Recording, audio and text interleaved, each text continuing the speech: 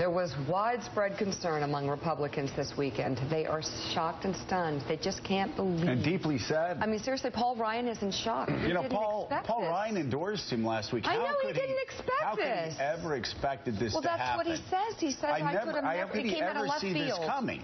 Left field. My God, a meteor. Wait, whoa, boom. What happened?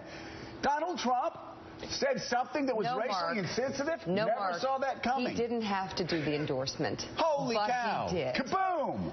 Donald Trump continued to attack the federal judge overseeing the Trump University case for his ethnicity. Take a listen. He's a Mexican. We're building a wall between here and Mexico. This judge is giving us unfair rulings. Now I say why. Well, I want to. I'm building a wall, okay? And it's a wall between Mexico, not another country. But he's In not- my- he's not from Mexico. In my opinion, He's from Indiana. He is his Mexican Mexican heritage, and he's very proud of it.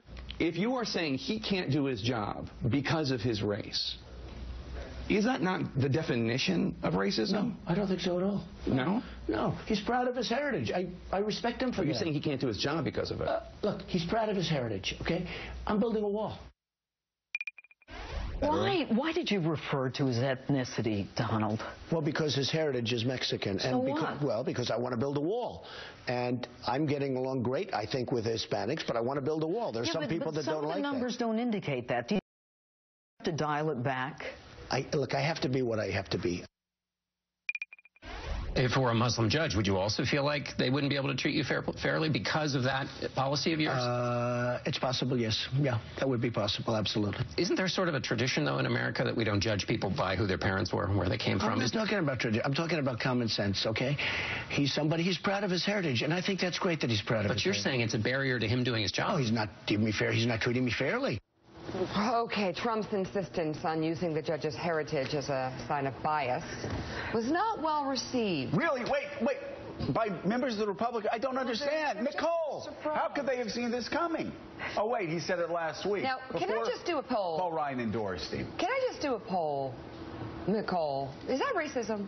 Yes. Okay, Joe. completely racist. Is that racism? It's completely racist. Here you have a guy Yeah, that is yeah. from Indiana. Yeah. From Indiana.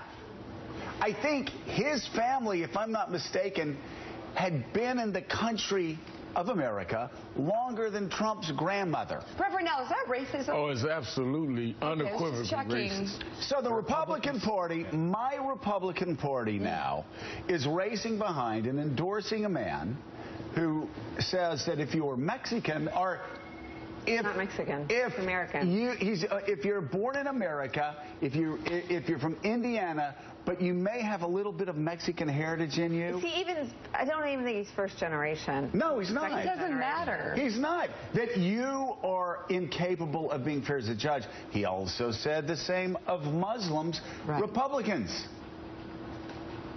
Good on you. Really, good on you. You're endorsing this guy?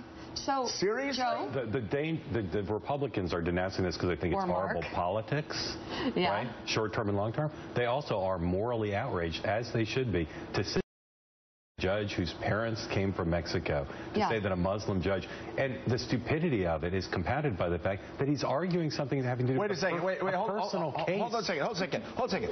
Let, let, let me just. I, I just want to be really clear here. Mm, please. Now, they can't be morally outraged this week when they knew what he was doing last week. And by the way, I said it here on the TV box. And you can check it out on the Yeah. TV box.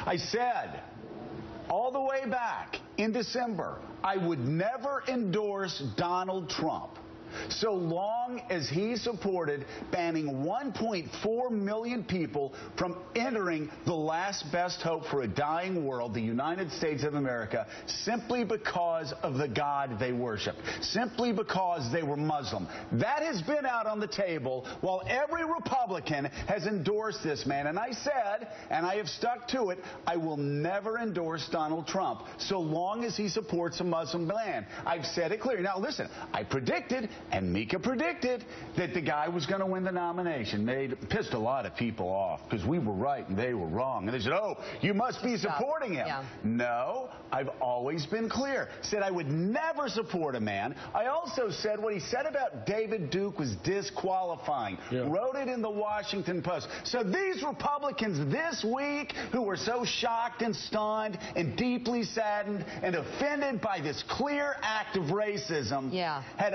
all the evidence in the world before the that he had done Joe, things that- again stopped them from endorsing him. How do you endorse Paul Ryan, a man that supports the banning of 1.4 billion Muslims from ever entering the United States of America? You make him back down, actually. That's what I was hoping, that perhaps we could put pressure on him back down and change that policy. Instead, Al, he's doubled down, and now it's people that may have, what is it, 116th Mexican blood? If you got 116th Mexican blood, then maybe you can't be a judge. 116th What year is Muslim this? blood? I mean, this is unbelievable. He is getting worse.